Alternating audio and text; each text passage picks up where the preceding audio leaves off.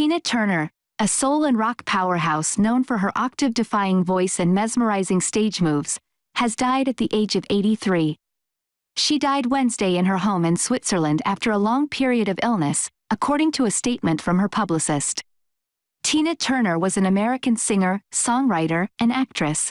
She is known for her powerful vocals and energetic live performances.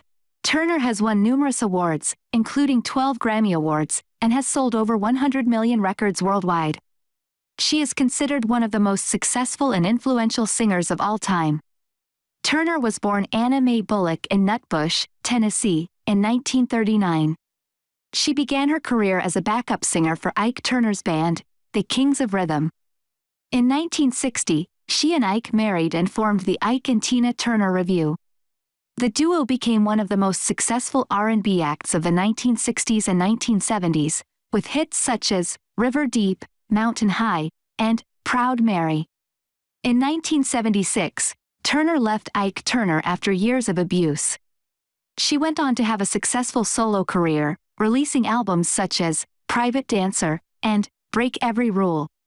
Turner's solo career was even more successful than her time with Ike Turner, and she continued to tour and record until her retirement in 2009.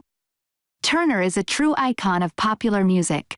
She is a powerful singer with a unique stage presence. She has inspired generations of singers and performers, and her music continues to be enjoyed by fans all over the world.